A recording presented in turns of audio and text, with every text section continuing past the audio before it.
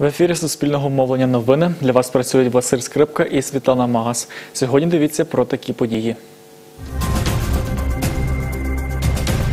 Майстер профтехучилища номер 13 який курив цигарку та лаявся на уроці, написав заяву на звільнення.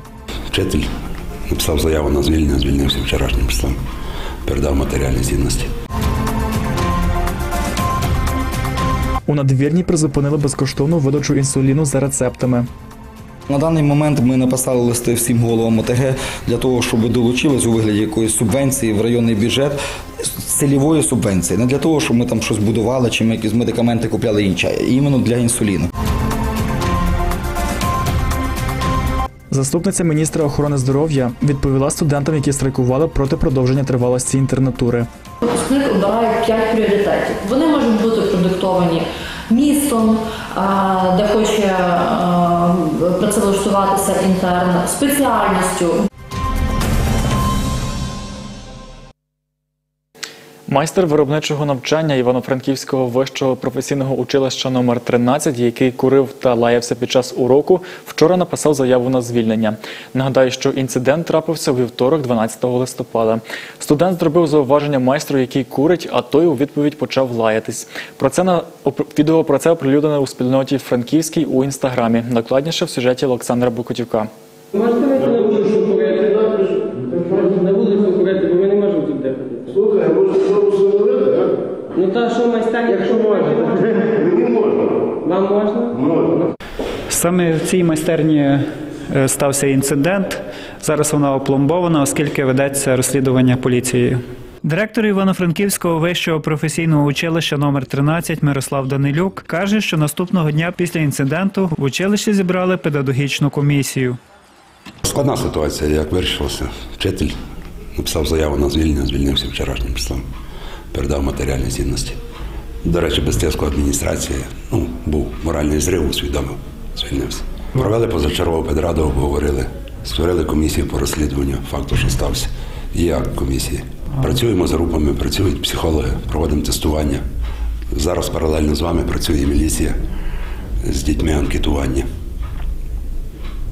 Неприємно, але, є факт, який мусимо розглядати, робити висновки. Конфлікт між майстром та студентом розслідує поліція. Про це нам телефоном повідомила начальниця сектору комунікації обласної поліції Христина Максимчак. Відомості про дану подію внесені в журнал єдиного обліку заяв і повідомлень про вчинення кримінальні правопорушення та інші події. Наразі працівники поліції е, опитують учнів, які були присутні на уроці, а також сьогодні також буде поданий е, цикл. Наразі триває перевірка. Олександр Букатюк, Олег Головашкін. Новини на Суспільному. Івано-Франківськ. Інсулінозалежні хворі міста Надвірної сьогодні не можуть безкоштовно отримати інсулін за рецептом лікаря. Про це повідомила директорка комунальної аптеки міста Людмила Кунько. За її словами, видачу ліків відновлять після підписання нової угоди із районною владою та надходження коштів. Чому склалася така ситуація, з'ясовувала Наталія Олексієнко.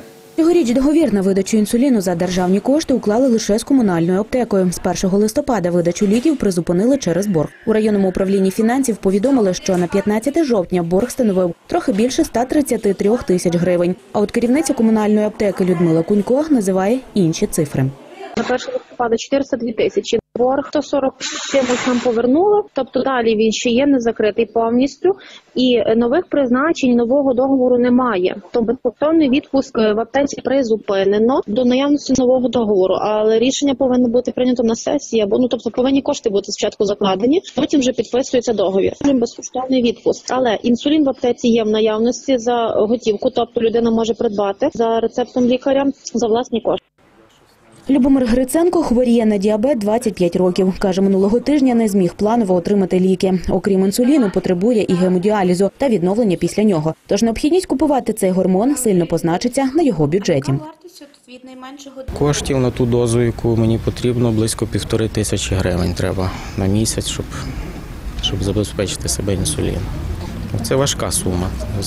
Тою соціальною допомогою, якою, забезпечує держава. Загалом в Надвірнянському районі близько 385 інсулінозалежних хворих. Директор Надвірнянської центральної районної лікарні Сергій Ємельянчук розповідає, що в середньому такому хворому на місяць потрібно від 800 до 1000 гривень на інсулін. Чоловік каже, що ситуація з фінансуванням стала би простішою, якби ОТГ оплачували ліки для своїх хворих. На даний момент ми написали листи всім головам ОТГ для того, щоб долучились у вигляді якоїсь субвенції в районний бюджет. Цільової субвенції, не для того, щоб ми там щось будували, чи ми якісь медикаменти купляли інше, іменно для інсуліну, забезпечити їхніх хворих. Начальниця управління фінансів Надвірнянської райдержадміністрації Леся Свідрак розповідає, що цьогоріч державна субвенція на відшкодування вартості інсуліну – півтора мільйона гривень. Минулого року ця цифра становила понад 4 мільйони. Травні цього року з районного бюджету дофінансували програму на 300 тисяч гривень. Ще 408 тисяч додатково надав обласний бюджет. 20 листопада на черговій сесії районної ради розглянуть пропозицію виділити ще 100 тисяч на відшкодування аптекам вартості інсуліну. Профінансуємо цю, оцю помісячну листопадову суму цього інсуліну, профінансуємо після затвердження сесії 100 і, і е, теоретично я вигляд, я так розумію ситуацію, що буде вона частково врегульована. Експертка з ендокринології обласного департаменту охорони здоров'я Оксана Марусин пояснює, що субвенція з держбюджету покриває 50% витрат на інсулін. Другу половину мають оплачувати з місцевих бюджетів. Наш департамент охорони здоров'я, фінансова служба на сьогоднішній день е, не розглядає як критичну ситуацію із заборгованістю. Власне, ця заборгованість, яка створюється, вона створюється за рахунок боргу з місцевих бюджетів. Наталя Олексієнко, Андрій Шустикевич. Новини на Суспільному. Прикарпаття. Визначити рівень цукру у крові, виміряти артеріальний тиск, дізнатися, як правильно харчуватися при діабеті. Такі можливості отримали учасники акції, яку із нагоди Всесвітнього дня боротьби із діабетом провели сьогодні в приміщенні обласної просвіти. Організатори це управління охорони здоров'я облдержадміністрації. Як проходила акція, бачив Андрій Паньків.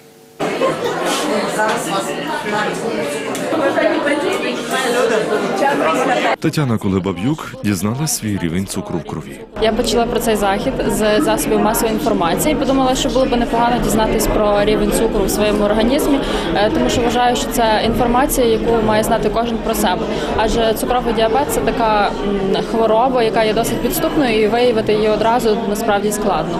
Е, От е, поміряла рівень цукру, сказала, що все добре, здорова, жити буду. Роман Остафійчук з Коломийського району хворіє діабетом першого типу 38 років. Робить ін'єкції інсуліну 4 рази в день. Каже, що основне навчитись жити з діабетом. Зараз мені інсуліну достатньо, але ж, е, як кажуть, світова медицина пішла далеко вперед, а ми в Україні відстаємо, тому що інсуліни у нас, е, я не можу сказати, що вони неякісні, але щоб забезпечити нормальне життя, нам треба переходити на аналоги.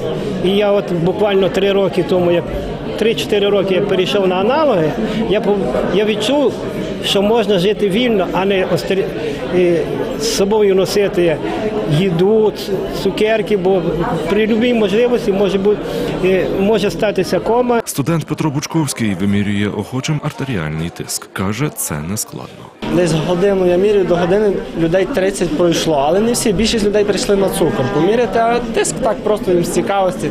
Зранку не поміряли ще щось, а більшість людей цікавить цукор. Експерт Івано-Франківського міського центру із питань ендокринології Лілея Петровська говорить, що в Івано-Франківську зараз близько 6 тисяч хворих на діабет, з котрих 1200 потребують інсуліну, і кожного року ця цифра зростає. На звіті міського голови в п'ятницю було озвучено, що е, в мізерному бюджеті міста все-таки знайдено гроші для хворих на інсулін, потребуючи цукровий діабет.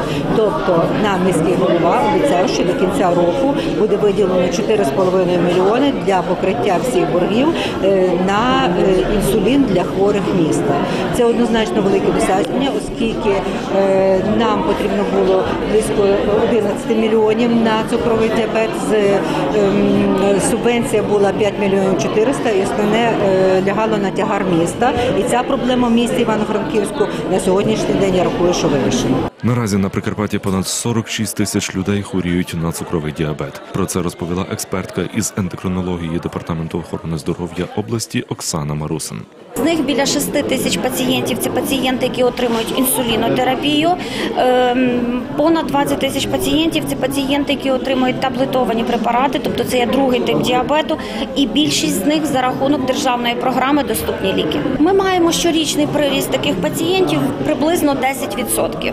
Це тенденція вже відмічається впродовж десь 10 років, може навіть і більше. Також Оксана Марусин прокоментувала стан заборгованості інсуліну на Франківщині. Нас е, розподілене фінансування помісячно, просто це є часткове фінансування за рахунок державної субвенції, те, що ми отримали на початку року 50%. Інша е, додаткова оплата має бути виключно за рахунок місцевих бюджетів. І власне ця заборгованість, яка створюється, вона створюється за рахунок боргу з місцевих бюджетів. Департамент охорони здоров'я, фінансова служба на сьогоднішній день е, не розглядає як критичну ситуацію із заборгованістю. Андрій Панків, Назар Вінтонюк. Новини на Суспільному. Івано-Франківськ. Державний бюджет на наступний рік ухвалили народні депутати у другому читанні та одразу в цілому. Розгляд тривав близько години. За кошторис у цілому проголосували 280 народних депутатів. Усі нардепи від Прикарпаття, окрім Оксани Савчук, його підтримали. Народна депутатка від 83-го округу була відсутня. До другого розгляду бюджету внесли понад 2,5 тисячі правок. Представила законопроєкт міністерка фінансів Оксана Маркарова. За її словами, додали фінансування окремих галузей. Освіта, медицина, соціальні програми все збільшення в цьому бюджеті на е, більше ніж 10 мільярдів якраз максимально відправлено на ці сфери. Це опорні школи 3,5 мільярди, це зарплата вчителям 3 е, мільярди 750 мільйонів. Це 3,2 мільярди додаткових грошей на ліків. Ще додаткові 400 мільйонів на лікування за кордонів. Так, ми підтримуємо розвиток нашої трансплантології, лікування тут. Але поки ми ще не можемо повністю забезпечити всіх наших людей, ми е, підтримали висновки бюджетного комітету і додали ці кошти. Згідно із проєктом закону, який Кабмін передав до другого читання, мінімальні пенсія та заробітна плата наступного року мають збільшитися. Мінімальна зарплатня на 500 гривень до 4723 гривень. Мінімальна пенсія становитиме 1672 гривні. Середній курс долара у макропрогнозі уряду це 27 доларів 27 гривень за 1 долар. Заступниця міністра охорони здоров'я Младлена Младлена Качурець сьогодні відповіла на запитання щодо інтернатури студентів-медиків. Нагадаю, що вони страйкували проти продовження тривалості інтернатури. Що відповіла їм заступниця міністра, розповість Оксана Василик. Ось що сказала заступниця міністра охорони здоров'я щодо електронного розподілу студентів-медиків у інтернатуру. Випускник обирає, в якому закладі е, освіти він проходить інтернатуру е, свою заочну частину, і в якому закладі охорони здоров'я відповідно він є працевлаштований. Це є одна системна е, програма інтернатури, і фактично таким чином випускник обирає п'ять пріоритетів. Вони можуть бути продиктовані містом, де хоче працевлаштуватися інтерн, спеціальністю, будь-якими іншими фактично мотивами. Ось як відповіла Младена Качурець на запитання, чому зміни стосуються цьогорічних випускників. Для нас пріоритетною є, е, тобто підготовка інтерна це не самоціль. Е, Мета це якісна допомога пацієнту. Відповідно, якщо ми будемо зволікати із е, зміною системи підготовки інтернів, ми не зможемо досягти високої якості надання допомоги в короткостроковій перспективі, скажімо, вже 3-4 років. Нагадаю, студенти-медики, які навчаються в Івано-Франківському медичному університеті, 7 та 13 листопада страйкували на площі Соборності перед адмінбудинком. Студенти виступали проти проєкту наказу Міністерства охорони здоров'я про затвердження положення про інтернатуру. Учасниця протесту Валентина Паньків каже, що зміни повинні стосуватися абітурієнтів. Тоді буде справедливо. Ми маємо право на вибір. Ми не проти реформи. Просто люди дана реформа включає в себе те, що люди мають інтернатуру три роки і ще резидентуру три роки. Тобто це повинно стосуватися абітурієнтів 20-го року, а не нас, випускників. Ми не знали на що ми йдемо. Ми не можемо вчитися все життя за мінімальну зарплату. За що ми будемо жити? Це просто абсурд. Поїдемо в міністерство в Київ на всіх підтримати наших. загальний мітинг. Зараз ми не хочемо ще зривати е, навчальний процес і лишаємося кожен по своїх містах. Підтримуємо своїх колег. Так, зараз по Україні вийшло 10 міст з 13 університетів. Це Львів, там Чернівці, Запоріжжя, Київ, Суми, Харків. Київ, Харків, Одеса. Оксана Василик. Новини на Суспільному. На сьогодні це усі новини. В студії для вас працювали Василь Скрипка і Світлана Маус. Залишайтеся з нами.